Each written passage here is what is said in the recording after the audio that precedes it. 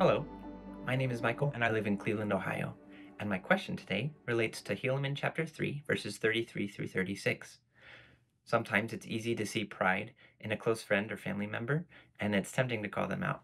When in reality, I'm probably the one that needs a change of heart.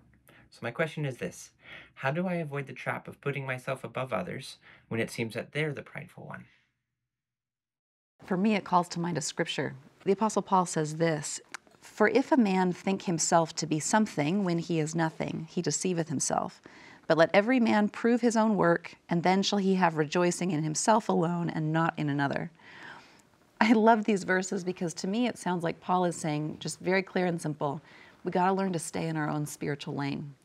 And that's tricky in part because in the gospel, in the scriptures, the Lord speaks to us as a group through his servants. And so it's possible, in fact, very common, for us to overhear his spiritual advice to other people at the same time that he's giving spiritual advice to us.